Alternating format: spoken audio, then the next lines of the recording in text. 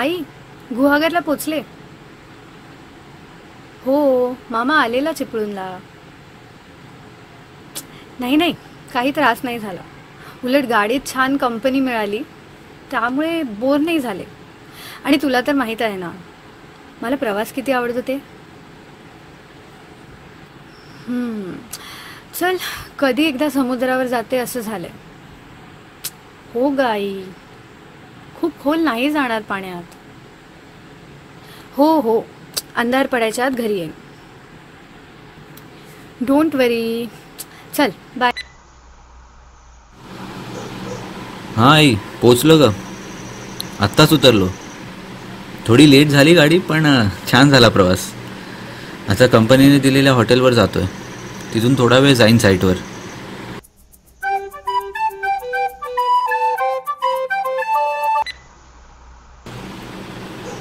काय रे? पाहिलीस का मंगला? हां that's great by the way तुला काहीतरी सांगायचं होतं. नाही नाही अजून कुठली ऑफलिंग नाही येते ट्रेनमध्ये कोणीतरी भेटलं होतं. आय मीन भेटली होती.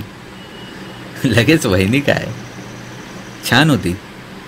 नाही नंबर घेतला नाही आहे पण उतरताना तिच्याकडे माझा नंबर दिला होता. झाले आता दोन तास उतरून. नो मेसेज ॲट ऑल बघूया केला तर. चल मी जरा वेळ साईटवर जातो आहे कंपनीची साईट रे.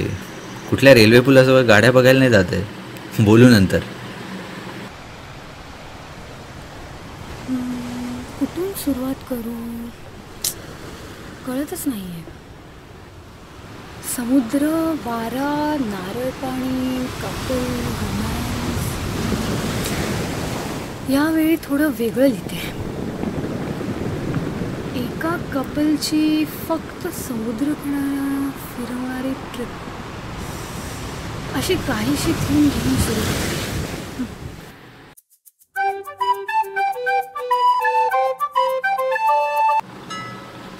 इथे मला थालीपीठ कुठे मिळेल? कळेल का? ताई कधीपासून शोधतोय? फोन लागत नाही तिचा. सगळे पर्यटक पण निघाले. तिचा दुसरा नंबर आहे का? एकदा लावून बघ ना जरा. नाहीतर मला मोठ्या बॅटऱ्या आणून शोध सुरू करावा लागेल. आई जेवलो आता.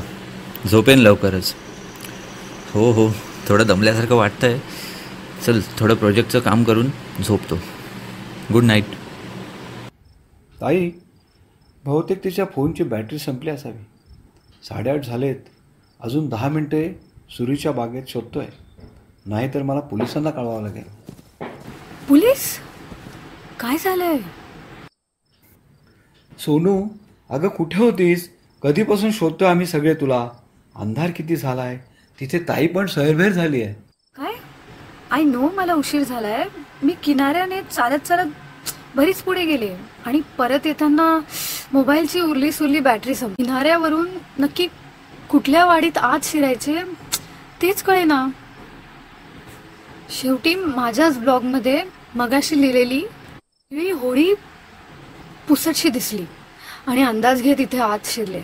थँक गॉड बरोबर आली. मामा मला पाणी हवं आहे सोनू तू बस आधी. मी पाणी आणतो. हॅलो ताई. सोनू आली घरी. हो ठीक आहे. काळजी नको करूस.